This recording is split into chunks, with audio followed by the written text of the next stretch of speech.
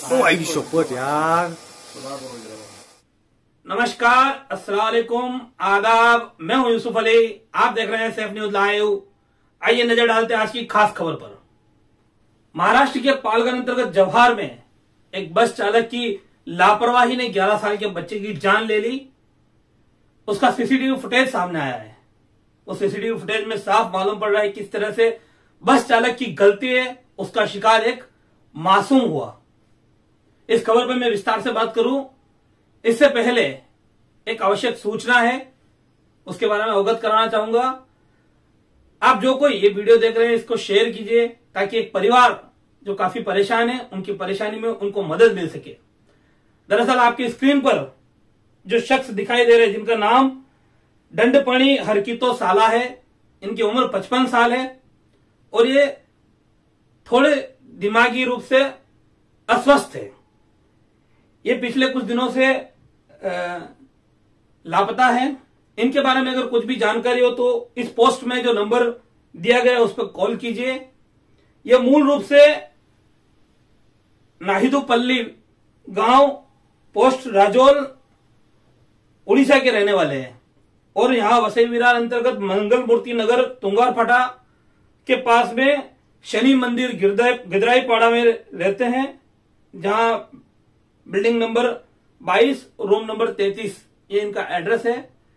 इनका परिवार काफ़ी परेशान है। पिछले कुछ दिनों से ये लापता है। पुलिस में शिकायत भी की जा चुकी है, लेकिन इनकी कोई अभी तक जानकारी नहीं मिल पाई है। आप में से किसी को ये शख्स अगर दिखाई दे तो इन नंबरों पर संपर्क करके ज़रूर इनके परिवार की मदद कीजिए।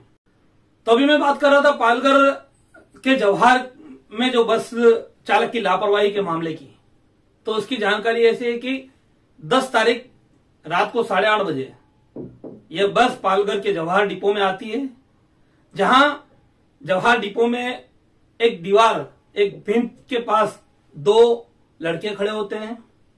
यह बस चालक बस को वहाँ से थोड़ा आगे सरकाता सीसीटीवी फुटेज में देख सकते हैं और बाद में बड़ी लापरवाही से उसको रिवर्स में लेने की कोशिश करता है।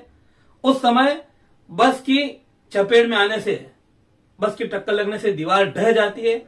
उस दीवार के नीचे दबने से 11 साल का मासूम पूरी तरह से दब जाता है, जबकि 15 साल वाला जो लड़का है, वो खुद अपने आप को बचाकर निकलने में कामयाब होता है। उसके पैर में गंभीर चोटें आई, ऐसी जानकारी सामने आई, जबकि जो मासूम 11 साल का दबा था अंदर उसकी मौत हो गई और इस हादसे के बाद बस चालक है, वहाँ से फरार हो गया। पिछले दिनों से कई बार बीएसटी एसटी बस से इस तरह के हादसे की कई खबरें सामने आती रहती है। अभी हाल ही में जवाहर अंतर्गत ही दो एसटी बस आपस में भिड़ गई थी और काफ़ी बड़ी टक्कर हुई थी। इस हिसाब से अब एसटी प्रशासन को यह सोचना चाहिए कि इनके ड्राइवर को किस तरह से कंट्रोल में करे ड्राइवर को प्रशिक्षण दे ताकि यह ड्राइवर जो है, ये चालक, मौत के चालक नहीं बने, लोगों की जान से खिलवाड़ नहीं करे। ये काफ़ी बड़ा एक हादसा होना था, हादसा हुआ। लेकिन हादसा क्यों हुआ? सिर्फ़ और सिर्फ़ लापरवाही की वजह से हुआ।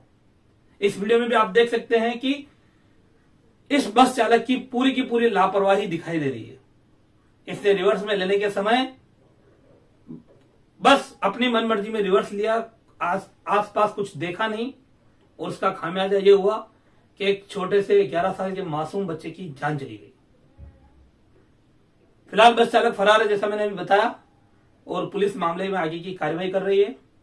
आप जो सीसीटीवी फुटेज देख रहे हैं, ये उसी घटना का सीसीटीवी फुटेज है। अभी के लिए इतना ही। नमस्कार।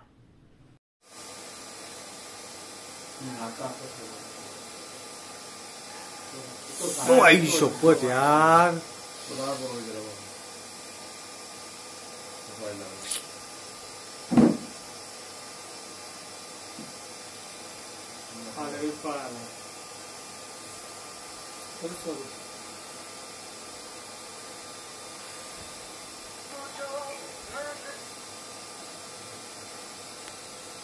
मला व्हिडिओ पाठवतो बस रिव्हर्स घेताना इथं आम्ही बघतो याच्यात दिसतं आपल्याला कॅमेऱ्यामध्ये की त्याची पहिली गोष्ट म्हणजे गाडी धक्का स्टार्ट होती ती गाडी ढकलत ढकलत त्याने गेटच्या बाहेर काढली.